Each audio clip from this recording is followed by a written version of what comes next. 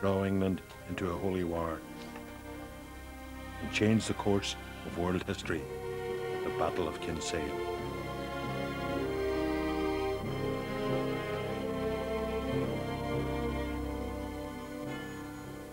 By the end of the 16th century, England had begun to exert its authority in Ireland. The Irish chieftains were too busy fighting each other to see the coming storm. One by one, the Gaelic lords were picked off and forced by fear or greed into the arms of the crown. There was some scattered resistance, but all it did was justify the crown's use of force. But not every Irish chieftain took the English shilling. In Ulster, a loose alliance of young guns led by Red Hugh O'Donnell, with the tacit support of his father-in-law, Hugh O'Neill, had succeeded in keeping the Queen's soldiers at bay. Elizabeth couldn't understand why Tyrone, her man in Ulster, hadn't crushed the rebellion. I don't think that um, O'Neill was playing both sides. I think he was always on the Irish side, but he had to be seen by the government to be on their side, and as a result, uh, he he sends out deliberate signals uh, to misinform the government of his intentions all the time. He gives the impression that his followers, and indeed O'Donnell, are rebelling against the crown without his permission. But in fact, he is generally manipulating them all behind the scenes. Hugh O'Neill was born in Gaelic Ulster, though he was educated in the English Pale which surrounded Dublin. There, as a teenager, he was fostered to the Hovendens, a family of prosperous settlers. Here he learnt the ways of and manners of an English gentleman. By the time Hugh was 30, he was defending the Queen's subjects in the Pale. By the age of 40, Elizabeth was calling him a creature of our own. O'Neill is one of the great enigmas of Irish history. And in some respects, he is seen as having a split personality, somebody who at the same time is English and at the same time as he is Irish. He is fully conversant in both cultures, uh, the Irish culture of the time and the English culture of the time, and that actually gives him great facility as a politician. Elizabeth summoned O'Neill to Dublin Castle to explain his inability to quash O'Donnell. His hand now forced, Hugh O'Neill slipped out of the capital, returned to Ulster, and joined his son-in-law in a rebellion that became known as the Nine Years' War.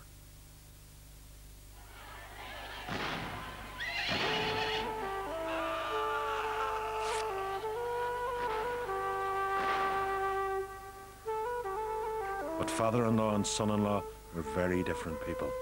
O'Neill was as cautious as O'Donnell was impetuous, and even as they cemented their unique working alliance, the very nature of the conflict with England was being shaped by events in Europe. Well, 400 years ago, the world order was very different to the one with which we're familiar today. To begin with, the most powerful country in the world was Spain, the Spain of uh, Philip II and Philip III. Uh, that was the greatest political power. It was also the greatest religious power. A huge naval fleet and a missionary zeal for gold meant the Spanish Empire was the first on which the sun never set. It stretched from Eastern Europe right around the globe via the silver mines of South America to the Philippines, which the Spanish monarch had named after himself. And at the centre of this vast dominion was Philip II, a devoutly religious man who felt his hand was guided by God. At the geographical centre of Spain, Philip built his palace, the Escorial, and around it revolved the world.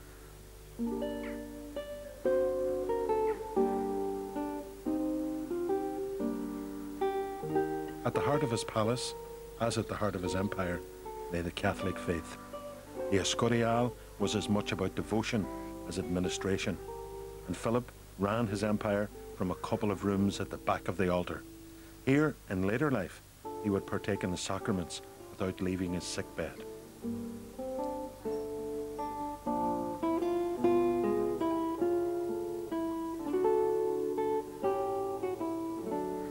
But empires never came cheap, and ironically, With all the gold and silver at his disposal, Philip's kingdom was teetering on the brink of bankruptcy.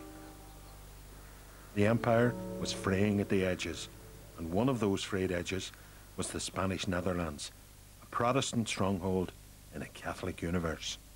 At this stage, at the end of the 16th century, Philip has been king for quite a long time, Philip II, and he's an old man, uh, and he's a very sick man. Uh, however, he's also the most powerful king in the whole world, uh, so he has a number of political obligations, not just in Spain, but all over Europe. Remember, the Spanish are in charge of the Spanish Netherlands, modern-day Belgium. They have a rebellion going on there. They're very, very influential also in the Italian peninsula and, of course, in the New World. Now, that brings them into conflict, if you like, or into tension with practically everybody else in Europe, particularly at this stage, uh, England and Queen Elizabeth. The state coffers all but empty, Philip's army in the Netherlands was not being paid. They ran amok, taking their frustration out on the people of Antwerp. It was a mass slaughter. In desperation, the Dutch Protestants turned to the world's only Protestant leader, Queen Elizabeth. This put England, a minor European player, on a collision course with the two major powers of the day, the Spanish Empire and the Church of Rome. And the flames of that global conflict were being fanned by the growing rebellion in Ireland. O'Neill and O'Donnell had driven the English back from Ulster. Connacht had joined them in open revolt, and they were busy stoking the fires in Leinster and Munster. More and more, they ruled the open country. The enemy was confined to isolated garrison towns, and these outposts needed to be supplied. In the spring of 1595, the Gaelic Confederate armies fell on a column of Elizabeth's troops who were on their way to relieve the garrison at Monaghan town. When at Clontibret, strung out, exposed and vulnerable, O'Neill's army picked off the English one by one.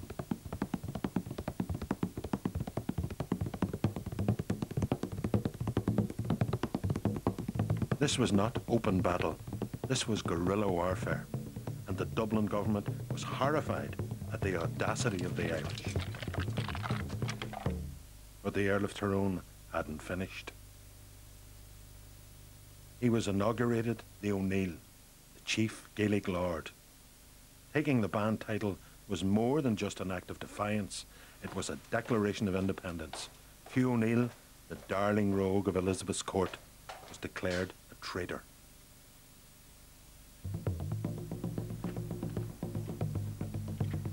Caught, he faced the kind of death handed out eight years earlier to another Gaelic chief.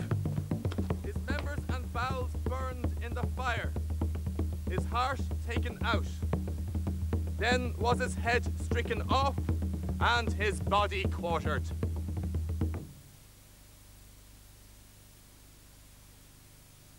Elizabeth was extremely pissed off when she had to declare O'Neill a traitor. Uh, she'd held off for uh, about a year in making that decision. Uh, she was considered O'Neill to be uh, her man in Ulster, the Queen's O'Neill. She had established them there. She had, uh, as she said, raised them from the dust. He considered otherwise, of course. He considered that he had achieved his authority in Ulster by what he called scratching in the earth. But even as Elizabeth's government was baying for blood, the two sides were in negotiation. Knowing he was in a position of strength, O'Neill kept upping his demands, but slowly two sides were moving close to a peace agreement when, in the spring of 1596, an envoy from Philip's court landed on a Donegal beach.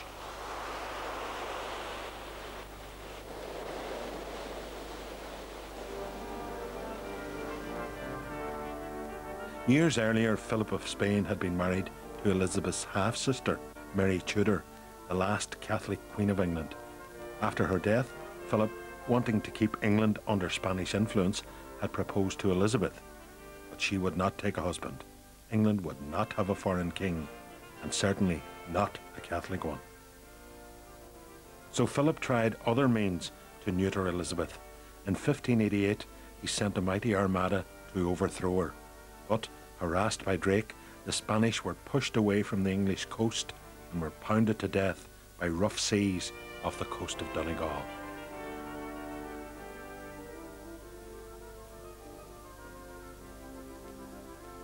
Some 6,000 Spaniards drowned, and those who made shore fared little better.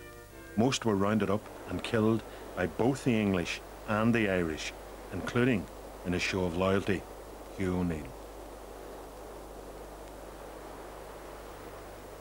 Now, eight years later, this time with O'Neill's support, Philip wanted to try again. He promised the Irish Confederates another mighty armada. This one would first take Ireland before moving on to dethrone Elizabeth. O'Neill took a momentous decision. He reneged on the peace treaty with England and committed himself and the Confederacy to an alliance with Spain. Hugh O'Neill sent a special message to King Philip at the Escorial.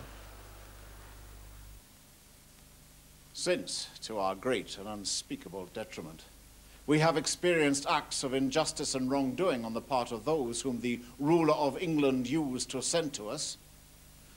We pray and beseech your majesty to designate as king over this island someone who is known to you, who is completely honorable and gifted for your majesty's own benefit and that of the Commonwealth of Ireland. Queen Elizabeth of England is nearing her end and she will die in 1603. So the question of the succession in England is very, very topical. Now remember, Elizabeth never married, so there's no direct Tudor successor. So Philip uh, is very, very concerned that uh, a more pro-Spanish succession would occur in uh, England, and he wanted to put his own daughter, uh, Isabella, on the throne of England. Philip's daring plan to dethrone Elizabeth would require a huge armada and yet again the monarchy was almost broke. But by remortgaging the silver mines in New Spain, Philip managed to bankroll a massive fleet, 100 ships. Philip's new armada set sail for Ireland in October 1596 and almost immediately ran into trouble. Storms in the Bay of Biscay scattered the fleet and sent 32 vessels and 2,000 men to the bottom of the Atlantic Ocean. Demoralized, the rest of the Armada turned around and headed home. Philip II's enormous gamble had been a total disaster, and for the third time in his reign, Spain was bankrupt. The news came as a crushing blow to the Confederates, who had pinned their hopes for victory on Spanish aid. They now would have to carry on the war Nothing more from Philip than words of support. Among the English planters, the failed armada simply whipped up more rumours of invasion fleets and papal plots. Siege mentality set in, and the settlers armed themselves and prepared for the worst.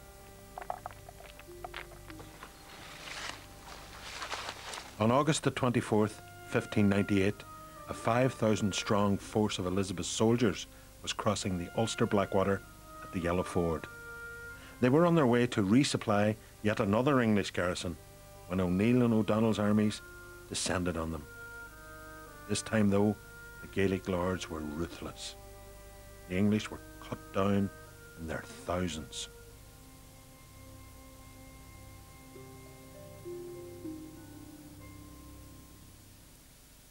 Well, the Battle of the Yellow Ford was the greatest victory the Irish ever won in, in arms against England. Basically, uh, England's position after the Yellow Ford was extremely difficult indeed, uh, and the Irish were in the ascendant all over Ireland. Fueled by the Confederate victory, rebellion spread like wildfire across the country. The Munster plantation was overthrown. English colonial rule was all but crushed, and Elizabeth's once glorious reign was now beset with problems. O'Neill was anxious to press home his advantage, but he knew that he could never take the cities. His was a guerrilla army. They had few weapons and no siege cannon. He still needed Spanish aid and sent word of his great victory over the English to Philip.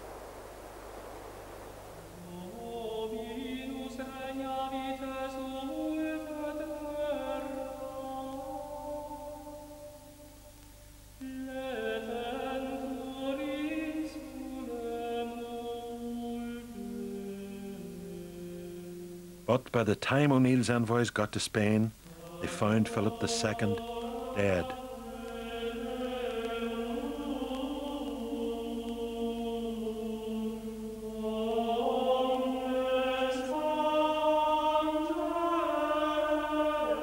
The successor to the Spanish throne was Philip's son, Philip III. As a child, the new monarch had been taught about the victories of his forefathers in this specially built schoolroom. But disastrously for the Gaelic chiefs, the new king had inherited a bankrupt state, and he wasn't in a position to help. To add to O'Neill's troubles, Elizabeth, faced with the prospect of losing Ireland, had just landed 16,000 men and 1,300 horses on the east coast. This was the largest army ever assembled in Ireland. At the head of this mighty fighting force was the man who had recently torched the Spanish town of Cadiz. Ireland's new Lord Lieutenant was Robert Devereux, second Earl of Essex. Devereux arrived in Ireland with the cheers of his countrymen still ringing in his ears. On his departure, Londoners had lined the streets two deep for four miles, cheering the victor of Cadiz and calling down the blessings of heaven upon him. His one military success had turned Essex into a hero, but his public popularity and his arrogance had driven a wedge between the young heartthrob and Queen Elizabeth. For Elizabeth was a monarchy built on popularity, and she didn't take kindly to sharing the limelight with the arrogant young Earl. I have beaten Knollys and Mountjoy in the council, Essex boasted, and by God, I will beat Tyrone in the field. However, he did nothing of the sort. Essex wandered around Ireland, avoiding Ulster. In six months, he spent £300,000 and lost three quarters of his men to desertion and disease. Elizabeth was losing patience with her tarnished favourite.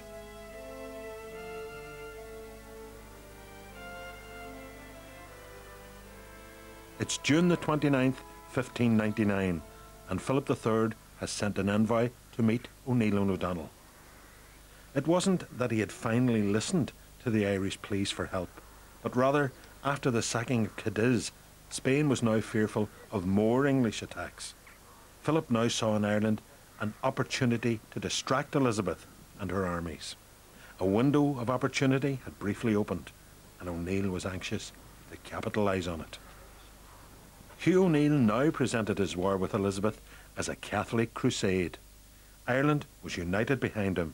The country was a tinderbox of revolution. All it needed to explode was Spanish help to light the fuse.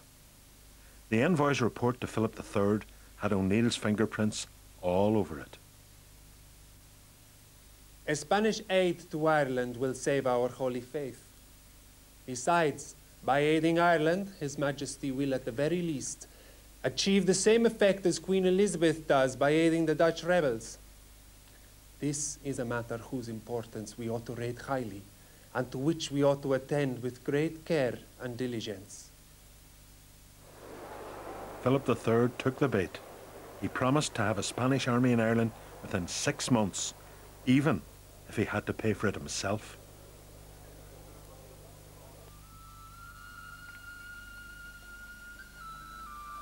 Pressure was now on. O'Neill needed to get Essex off his back, and he needed to win over the Catholics of Ireland. If the Spanish invasion was to be successful, solid support from all the Gaelic chiefs and the Old English gentry was needed. The pressure was also on Essex. Elizabeth ordered him to attack O'Neill, but his mighty force of 16,000 was now down to under 4,000 men and his priorities had shifted. He no longer wanted O'Neill's head on a spike. He wanted an ally. The two men met midstream not far from Louth town. And for half an hour they talked out of earshot of their prying lieutenants.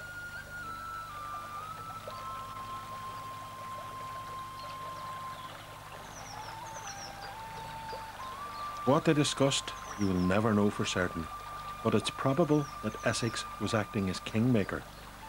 With Elizabeth's reign coming to an end, he was anxious to benefit whoever should gain the throne. Buying peace in Ireland would be quite a trophy.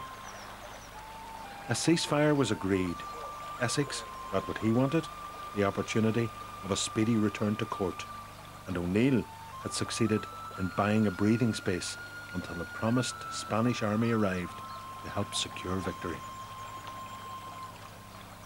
Essex left Ireland that winter and three years later led an abortive coup d'etat against Elizabeth. For his trouble, he was taken to the Tower of London and executed. It took three blows of the axe to sever his head. During uh, O'Neill's negotiations uh, with the government, he had raised the matter of religion on a number of occasions, basically to up the ante. Uh, he demanded, first of all, religious toleration in Ulster and then religious toleration uh, throughout Ireland in those negotiations. However, when Essex uh, left Ireland basically with his tail behind his legs, O'Neill decided to go for broke. O'Neill now called into play the powerful forces of religion and nationalism. He argued that Irishness and Catholicism were synonymous, and it was the duty of Irish Catholics to oppose the Protestant English. In the winter of 1600, Hugh O'Neill left his stronghold of Dungannon Castle and headed south. His new argument had got short shrift from the Catholics of the Pale. He now hoped, at the very least, to convince the Catholic lords of Munster to unite under the Cross of Rome and the Red Hand of Ulster. The support of people like Lord Barry in Cork would be essential. For the maintenance of the Catholic religion, also for expelling our enemies from the continual treachery and oppressions used towards this our poor country, we have undertaken a journey to visit those places which have as yet not joined in the godly enterprise. We thought it fit to write to your lordship to add your helping hand in the accomplishing of our said enterprise. But O'Neill could not demand Barry's support. He would have to rely on more worldly methods of persuasion. If his arguments failed, O'Neill could always call on his private army.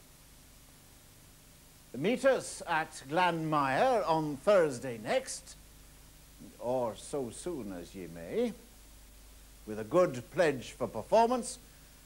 Otherwise, we shall follow that course of action which shall be little to your liking. The response from Barry's Court Castle was short and to the point. You shall understand that I hold my lordships and my lands immediately under God and her majesty, which service and tenure none may disperse with all but the true possession of the crown of England, being now our sovereign lady, Queen Elizabeth. And though ye, by some overweighing imaginations, have declined from your dutiful allegiance unto her highness, yet I have settled myself never to forsake her. O'Neill delivered on his threat, burned Barry's lands, and razed the nearby towns. Back in Ulster, O'Neill wrote to Pope Clement saying he was now the champion of Catholic freedom in Ireland. He wanted papal dispensation to turn his struggle into a holy war. He wanted nothing less than church support for his religious crusade against England and its heretic queen. In 1570, Pope Pius V had proclaimed Queen Elizabeth's death sentence. Whosoever sends her out of the world with the pious intention of doing God's service not only does not sin, but gains merit. But the papal bull didn't apply in Ireland. O'Neill argued that it should. This would automatically excommunicate all of Elizabeth's supporters in Ireland and bring dispensations to those who sided with the Confederates. In other words, the Old English, or Loyal Irish, like Lord Barry, who were Catholic but still supported Elizabeth, would have no choice but to fall in behind his banner. Now remember also that O'Neill has suffered some very, very strong negative propaganda in Rome at the papal court. And this has been brought to Rome by what we call members of the Old English elite in Ireland, most of them priests and many of them very well placed priests, who've reservations about O'Neill as a Gaelic lord. And many of the Old English, although they were Catholics, had actually gained from the suppression of the monasteries and were in possession of property. Now they were afraid that in an O'Neill victory, this property was going to be taken from them and redistributed. O'Neill's agents in Rome set to work, but Pope Clement had other ideas. He was wary of Spain and the growth in Spanish power. The last thing Clement wanted was a Spanish Ireland. O'Neill's Catholic crusade would get no help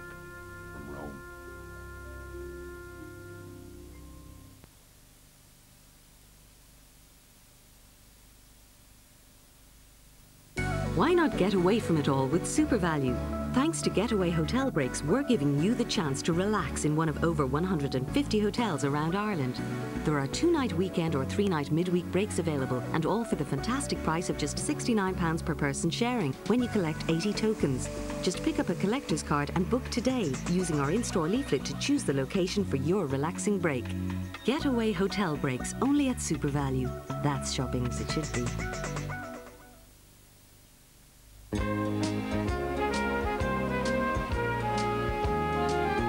We all know, looking after your little ones is vital. Because it's only by giving them the most tender, crisp and tastiest there is that you can be sure they'll grow up full of beans. Or should we say, sweet corn. Ho, ho, ho. Green Giant.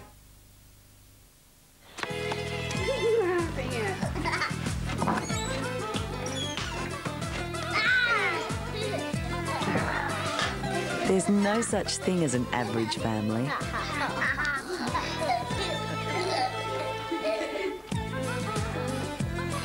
So don't serve them an average pasta meal.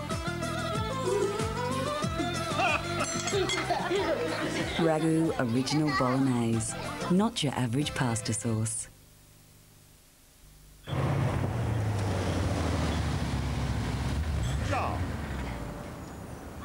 Why don't I jump aboard and keep you company, eh? You care for a ride, then? Not really, thank you. I see you uh, like the really rich. I like Kenco really rich, yes. It's not only rich, it has depth and superb taste. Ciao. Fair dues. I'll catch you next time. Lovely evening, ladies. Kenco. Real coffee taste in an instant. Something new from Vileda? The new Super Mop with a 20% larger cleaning zone that cleans even the most stubborn dirt. A mop can clean that? The new Super Mop can, thanks to its unique Vileda Microfiber Plus. Good luck. There are more important things than worrying about dried-on dirt with the new Super Mop from Vileda. You can get your floors clean and dedicate yourself to the things you really enjoy. The new Vileda Super Mop system.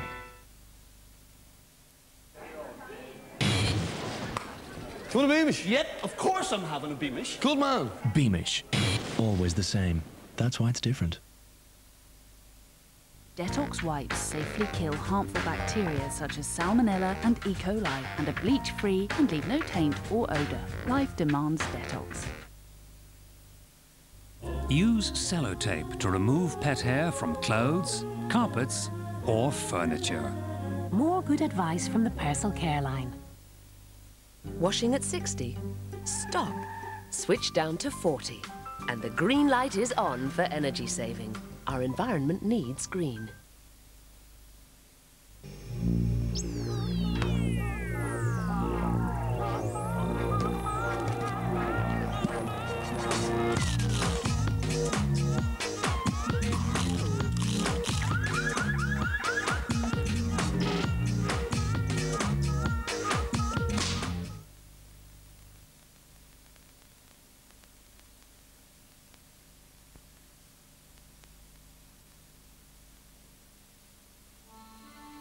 The summer of 1600, to ensure the province's loyalty, Hugh O'Neill left behind a 2,000 strong force of his men in Munster. He then returned to Ulster and prepared for the arrival of the promised Spanish army.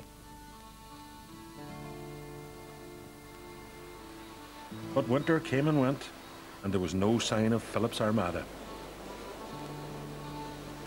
When yet another Spanish envoy arrived with nothing but words, the two Hughes were far from pleased. It was now nearly a year since they had been promised an army within six months, and in no uncertain terms, O'Neill reminded the envoy of Philip II's words when he reneged on his peace treaty with the English. Continue to expel the English, and you can count on my help. Now, where is the help? Munster was as loyal to O'Neill as he could hope. His soldiers were in place, and now he was being asked to continue the war for another five months in expectation of an army from Spain.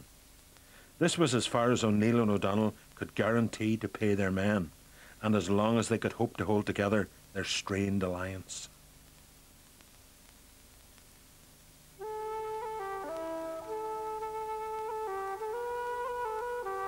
But, ever the politician, O'Neill sent his son Henry to Madrid as a token of his continuing loyalty to the Spanish crown, with the granting of his own flesh and blood as hostage.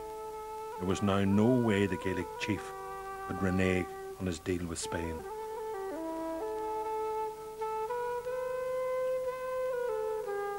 It was now Elizabeth's turn to push her advantage, and she did so in the shape of a new Lord Deputy. He was from an ancient aristocratic house which had fallen on hard times. A natty dresser who loved fine clothes and had a fetish for shiny boots. He was Elizabeth's new man in Ireland, Lord Deputy Mountjoy. He was pedantic and humourless, but he was smart. Mountjoy landed a garrison behind the Gaelic lines in Lough Foyle and wasted no time in taking on O'Neill. Meanwhile, his deputy Carew recaptured Munster. O'Neill was now cut off and surrounded, but his luck was changing. Philip III was good to his word, and a Spanish army of over 5,000 men was massing in Lisbon, ready to sail to Ireland. Philip was determined to succeed where his father had failed. He would follow in the footsteps of his forefathers. On his classroom walls, he had seen the infidel driven from Europe. Now it was his turn. He would tackle heretic Elizabeth. With the help of the Confederate armies, he would secure Ireland for the Spanish crown before moving on to conquer England. Protestantism would be overthrown and the Counter-Reformation would be complete. England was isolated the Queen was old and had no heir. It was the perfect time to attack. Another envoy was dispatched to Ireland. His task to find the best place for the Armada to make land. It was decided that at all costs the Spanish should avoid the south as it was now swarming with Carew's men. The ships should land anywhere on the west coast. That way the Spaniards would not be too far from the Ulster armies. By the time the Spanish envoy had completed his journey back to Spain, the Armada under Don Juan de la Aguila had already set sail. Its destination? Kinsale, in the far south. It's what he wanted. He wanted Spanish help, but it came a little bit too late. It came to the wrong place, and there wasn't enough of it when it did come. And sometimes getting what you want is the worst possible thing. Don Juan de la Aguila was Captain General of the Spanish land forces in Ireland. He was stern and bleak and had just been released from prison where he was serving time on charges of corruption. He had a low opinion of the Irish and quite respected the English. And after the butchering of the 1588 Armada survivors, his men were less than pleased to be sailing into the land of rain and savages. Within 10 days of leaving Lisbon, the 33 ships that made up the Armada had Ireland in sight. And that's when the first disaster struck. The storm clouds closed in and the fleet was scattered. Six of the ships were driven back to Spain, and on board were most of the arms and ammunition.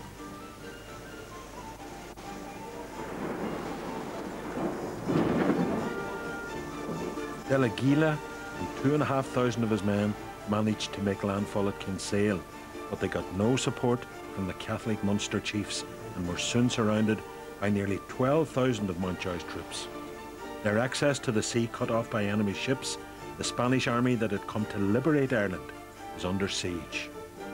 The Gaelic stronghold of Ulster couldn't be further away from Kinsale, and the chances of both armies meeting, let alone taking on and beating the English, looked remote. The Spanish attitude uh, to the Irish in the 16th century was uh, radically very, very bad in terms that uh, we had a hard tradition of Irishmen as a society uh, very apart from the rest of Europe. So Del Águila was all the time complaining what I'm doing here and uh, I need help from Spain. We are alone in Kinsale. We don't know if these Irishmen, are they coming from the north? We don't know nothing about it. So what, what are we doing here in Ireland? With the Spanish in the south, which was now hostile territory, Hugh O'Neill was faced with a terrible dilemma. To head to Kinsale would leave Ulster open to invasion. To stay put would see the Spaniards worn down and defeated. And if he did go to Kinsale, what then? His troops would have to face the English in open battle without the support of the Munster chiefs. Well, the main support base for the war effort in Ireland was, of course, in Ulster.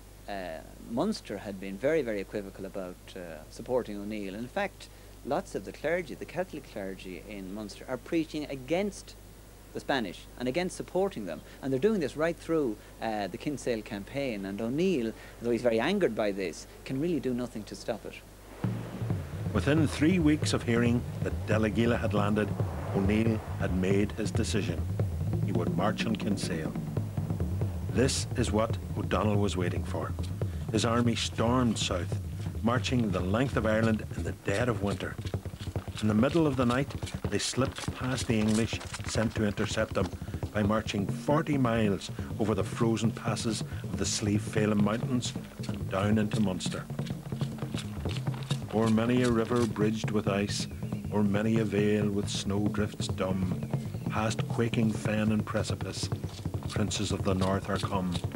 Lo, those are they who year by year rolled back the tide of England's war.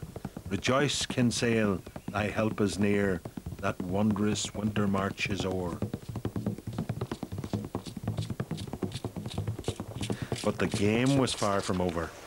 English warships on a routine patrol came across six Spanish galleons landing reinforcements in Castlehaven. In the ensuing battle, one Spanish ship was lost, but two English vessels never made it back to Kinsale.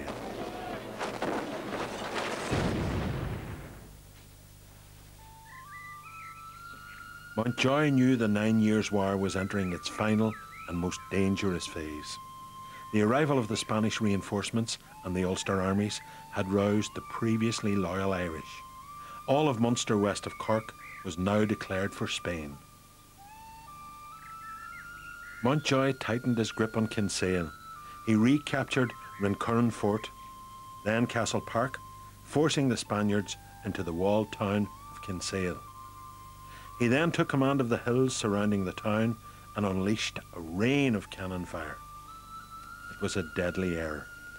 O'Neill went on the offensive, surrounding the English and cutting off their supply lines. Outnumbered and trapped between the Spanish and Gaelic Confederate armies, the besiegers had become the besieged. The weather turned wretched. Mountjoy's men were up to their knees in mud. Every day, up to 40 soldiers would drop dead at their posts, while scores more would desert. The best part of 6,000 English soldiers were killed not by the Gaelic Confederates, but by the elements. Most were left to rot where they fell. Burying them was a waste of energy the English could not afford. O'Neill's strategy was paying off. He knew his forces were not versed in open warfare and preferred to let hunger and disease do his work for him. But the pressure was building. Before he left Spain, De Aguila had been promised massive local support in Ireland. The campaign would be short and sharp. Yet here he was, still besieged, nearly three months after he had landed. His men wrapped in rags to keep out the Irish winter, sleeping on the damp, cold floors. O'Donnell's natural inclination was always to attack. His army had travelled south without cattle and was now slowly starving to death. They had no shelter whatsoever, sleeping night after night in sodden clothes and water-soaked ditches. Situation couldn't continue. Letters smuggled from De were equally emphatic. It was time to attack.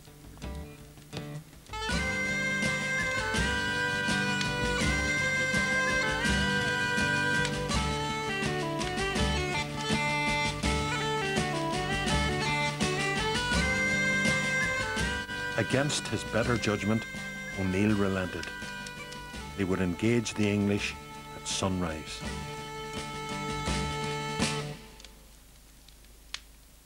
From the very start, the battle was a disaster for the Irish.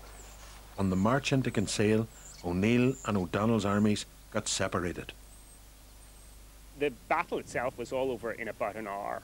Uh, once the English cavalry attacked, the Irish uh, cavalry fled, and uh, the Irish uh, foot was surrounded and massacred. Uh, the battle is quite ironic in a sense, in that uh, O'Neill had managed to train a very effective infantry army, army, and that was the most professional part of his army. But in fact, the part of his army which hadn't been modernised, the cavalry, were the force which let O'Neill down on the day.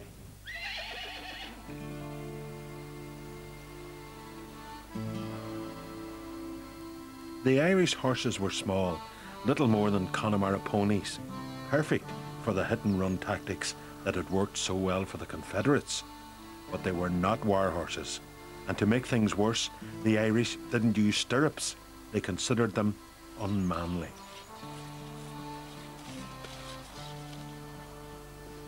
The English cavalry was a different matter. These were large, powerful war horses, the tanks of their day. They scattered O'Neill's men.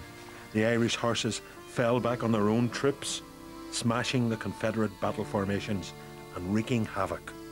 The English then attacked the fleeing Irish, who in a panic had dropped their weapons, and butchered them mercilessly. The first O'Donnell knew of the rout was when the remains of O'Neill's troops fled past him. His men lost all courage, and they too bolted. De Aguila heard the sounds of battle, but mistook it for an English ruse and didn't engage his men. No communication between the, the Spaniards uh, fixed at Kinsale in the town and, no uh, and with the, the main uh, Irish army. But we can't say that uh, it was a mistake from one of the parts because Irishmen complaining all the time about the uh, Del Aguila's attitude was really awful, but Del Aguila and the rest of the Spaniards complaining uh, with the Irish because the uh, cavalry, the English cavalry uh, just in a minute uh, finished with uh, the Irish infantry. So the Spaniards say uh, this is a medieval medieval thing how to do the war. So we can understand what in a few minutes everything was lost. The rout of the Confederate armies was complete. Around 1,200 Irish were killed as they fled the battlefield. Another 800 were wounded and probably died later. Depending on whose report you believe, the English lost either three men or just the one. The English fired a volley in victory. This De Aguila took as the Irish signal to attack.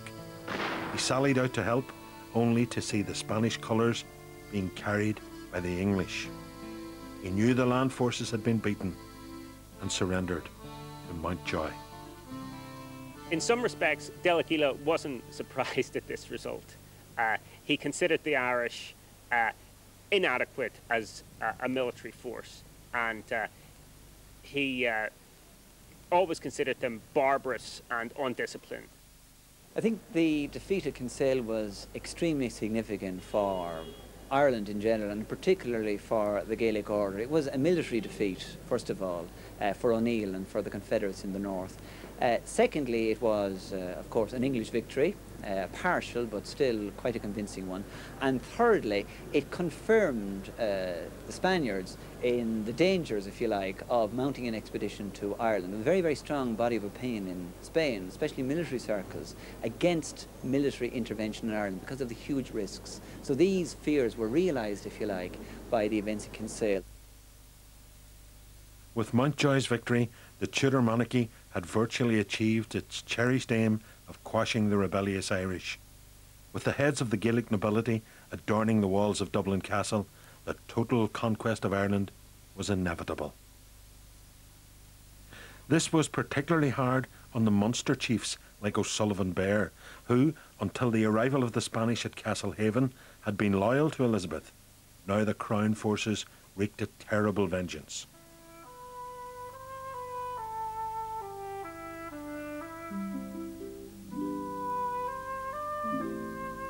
Shortly after Kinsale, Red Hugh O'Donnell fled to Spain, but his exile was to be a brief one. In 1602, he died in the castle of Simancas. Hugh O'Neill returned to his seat of power in Ulster, and Mountjoy followed. In a deliberate act of provocation, the Lord Deputy smashed the inaugural seat of the O'Neills. Sovereignty of the Gaelic lords was no more. Mountjoy then sacked Dungannon Castle, and like a common criminal, Hugh O'Neill was on the run. The English victory was now complete. It had taken over 400 years to quell the rebellious Irish, but in the end, Elizabeth had succeeded, but at a price.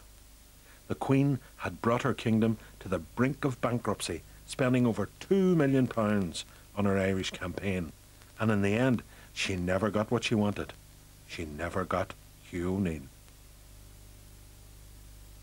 On the 24th of March 1603, Queen Elizabeth died, and six days later, Hugh O'Neill submitted to Lord Deputy Mountjoy.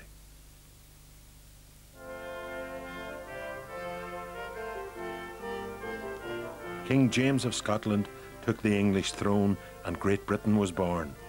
But even though O'Neill had managed to negotiate a favourable surrender with the new king, his position was untenable, and he and the rest of Ulster's native nobility disappeared into the night in what became known as the Flight of the Earls.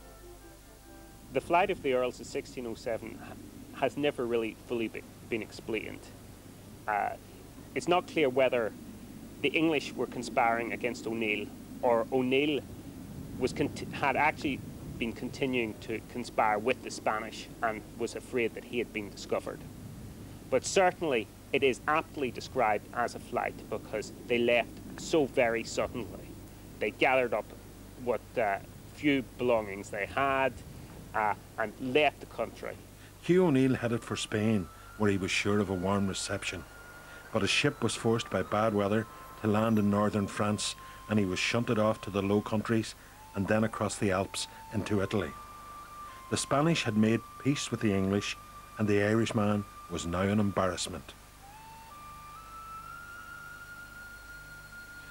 Eventually, Hugh O'Neill was offered sanctuary in, of all places, Rome, and it was here, at the Franciscan Church of San Pietro, that he died, a broken man, in 1616.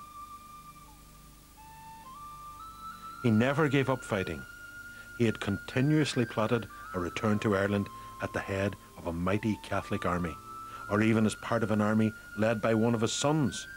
But he outlived all of them, including young Henry, who had risen to the rank of commander in the Spanish army.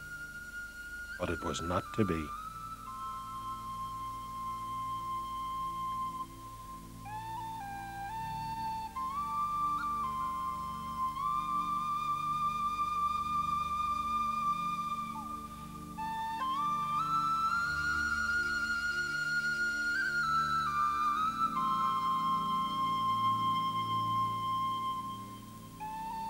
His homeland of Ulster was ravaged.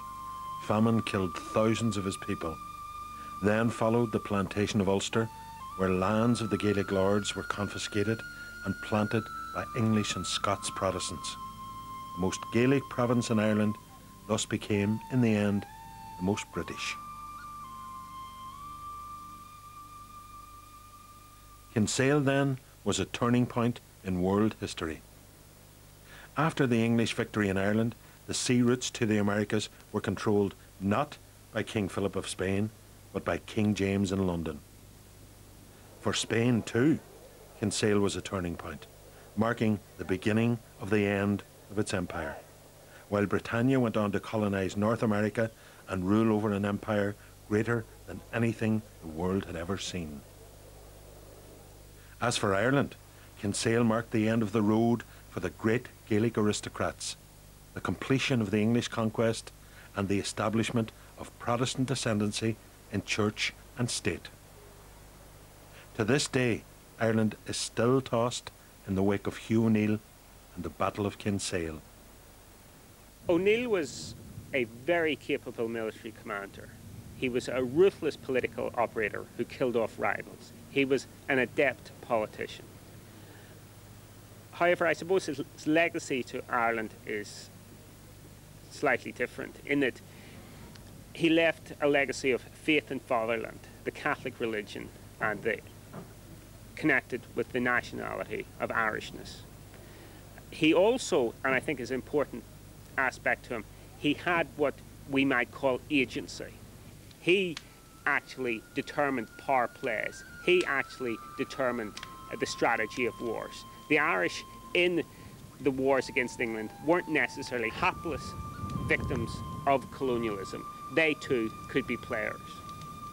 Camden, a contemporary English historian, wrote of Hugh O'Neill what could be written about most every Irish leader that followed him. He was born either to the very great good or the great hurt of Ireland.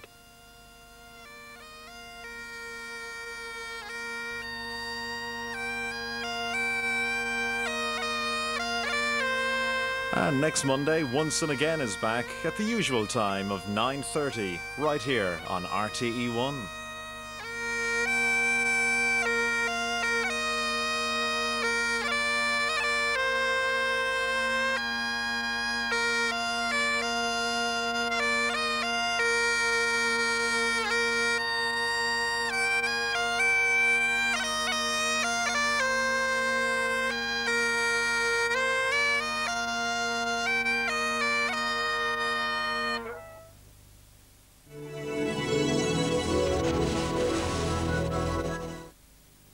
Question.